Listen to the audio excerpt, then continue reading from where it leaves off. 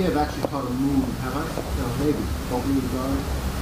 I get this thing about teaching. How many moves you can teach? Back in the day, like back in the day, like in the 90s, like I'm not that old, but I started this relatively early. And again, uh, and Henry would be the first one to tell you this, uh, Brazilian culture or the generation before him, very stingy about teaching Americans or promoting them. You know, like, oh, someone who teaches this language, or teaches this, teaches this language from this country, will steal your students. That's sort of the prevailing thing. Was, was. Now there's obviously, we're blessed to be with people who don't think that way and who share, you know, more than anybody that I've, I've ever known. But basically you had this thing where they would either underteach or overteach right? They'll either show you a move without enough detail, or they throw 30 moves at you in a seminar because you're not going to get. Or yeah, you're not even, even right? So again, with one of my coaches was like, yeah, but he was smarter. Oh, I gamed it. You know, so so and so, Minotauro, or whoever, you know, and uh, someone that level, 30 moves, right? 30 moves from half guard. Because, but then I realized 30 of those moves were when you shrimped out to the left. No, 15 were when you shrimped out to the left and 15 were when you shrimped out to the right. So I went back to my place and taught all my guys, we're just going to drill shrimping out to the left and shrimping out to the right. And then you're going to figure out, but you will, you'll figure out those moves. You know, so it's, it's like honing in on what's, again, fundamentals, what's most important. You know, getting into a strong position, posture, and then pressure. Do I shrink left? Do I shrink right? This, this, this. So when you guys are like looking at, and right now you're at the phase, especially if most of your blue belts, you're at the stage where new information matters, right? I think once you hit purple or brown, you've probably seen most of the high percentage things that are ever going to work. So it's not about new material, it's about, you know, it's about just stripping away at the unessentials. There's a Bruce Lee quote like that. It's about try, trying to find like the gold nugget inside what you already know.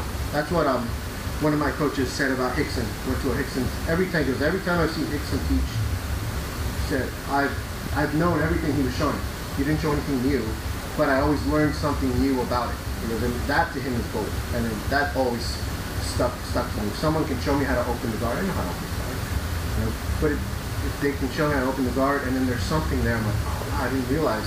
Even to this day, that's, and that's what I mean by I've learned more as a black belt than I have before. And now I can have the values. I can see what's actually more important than, you know, quantity right? Again, I'm not down in quantity because right now accumulation of knowledge is going to make the difference. But at, but you guys are living in an era now, you know, where you know I used to have to go into Chinatown and find the kung fu story downstairs that told the Vale Tudo VHS instructional that was like one in the whole entire New York City.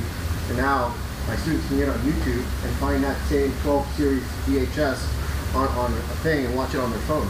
You know, so now information isn't the problem. Like there's load, there's GU, there's everything. So now it's more or less in terms of your own development, like honing in on what's most important, right? And then after that seminar I told you guys about with the posture, that's how, and I did a lot of nogi back then. That's how I understood who was who was good. I can tell just by that what belt level they are. You know, just, it's just how well they do the fundamentals that really, not how much they know, but how well they know and can articulate uh, what they're doing. So open guard now. Anything in regards to closed guard, opening, now we're going to move on just a bit, right? So next step here. I want to start like this. Who's familiar with De La Riva guard? No? Basically, some of you are, so we'll work to it because it's, it's, a, it's a progression, right? So very first sort of open guard you see positioning wise is just here. And this is important because in terms of fighting, I can't reach him. He's got his biggest weapons ready to go. I can't be any further away than this. So those principles still relate. Everything you've taught in combatives still relate. You just have to know how to look at it. Okay? So what I want to do is like, uh, you know, my buddies, is like, and I still do this. Like if this was war, you know, these are his archers, these are his infantrymen, and that's the castle. You got to get to the hips, right? So what I want you guys to do as a drill, and then this will actually lead to De La and then you'll understand how these positions evolve out of necessity right? I need to get past this feet. Now I'm ready to go, and now everything right? So it's how well you do the first part, or how well you understand that part, right? So let's do this as a drill. So I need to get past his feet. It, Pedro Sauer thing is got a brand new gi, he's got dirty feet, no footprints. If you just keep that, that's all I come. Get his feet off, get his feet off. You'll be fine. Okay? From here, a little swim right into this position. Now from here, rock, rock, keep some good tension here. It's tough. I disconnect for a second. And I step over.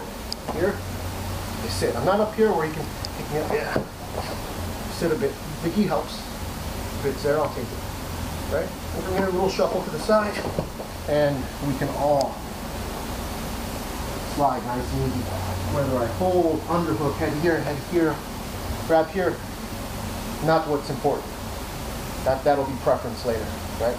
But what is important is if you're taught a move, oh, knee slide. I see this, I see guys dying. Like, no, that's not what you need to know. You need to understand you're no longer, now you're a threat. Knee slide. Okay.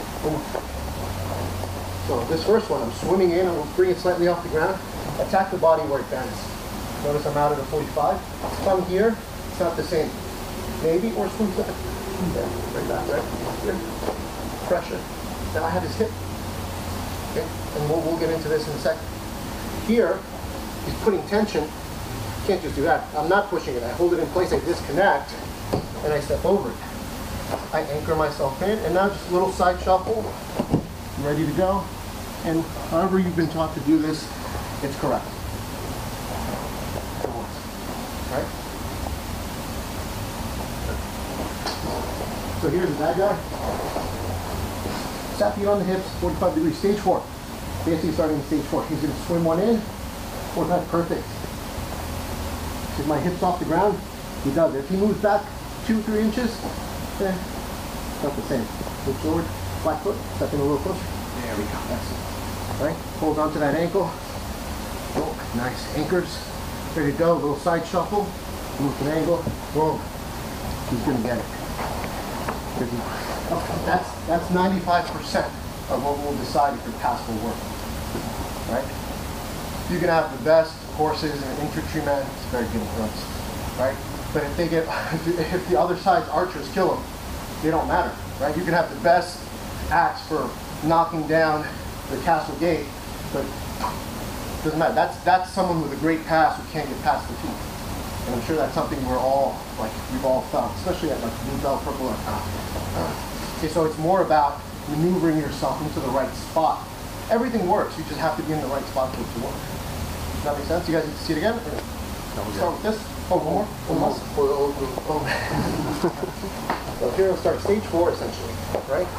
And here I'm just gonna check the knees in. Notice how I'm starting to drop just a bit. Here, nice and low. Check. All of this you can check. See, if I'm up here, it's up to him to tell me, oh, can you do it again? Okay, good, solid. Now, a little shuffle here in case that was up. Just keep that there. And now, any way you want to finish, underhook and down. Usually it's good practice to eat up the space right away and slide. Nice and slow. All right, let's try that.